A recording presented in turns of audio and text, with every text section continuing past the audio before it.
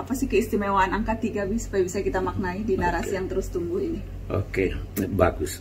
Bismillahirrahmanirrahim. Yang pertama, agama Islam itu tuntunan-tuntunannya terbagi tiga. Ada tiga. Ada yang berkaitan dengan hati dan kepercayaan. Ada yang berkaitan dengan kegiatan anggota badan. Itu dinamai syariah. Yang pertama dinamai akidah. Dan yang ketiga adalah akhlak.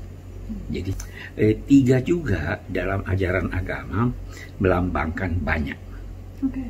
Eh, karena itu eh, berwudu sekali cukup, tetapi kalau mau sempurna tiga kali. Di dalam Al-Quran ada kata osor, ada kata yusr. Osor itu artinya kesulitan, yusr itu artinya kemudahan. Allah eh, menyebut kata kemudahan itu lipat tiga kali dengan